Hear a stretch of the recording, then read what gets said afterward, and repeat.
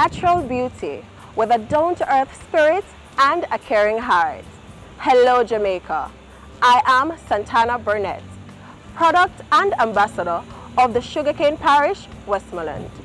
I am a 25-year-old radiology technologist. During my reign, I will be spearheading a project, All Hands on Deck, which focuses on exposing youth to skills and marketing programs through the use of current technological forums. Come on out on August 1st at the National Arena to see all these beautiful and talented ladies.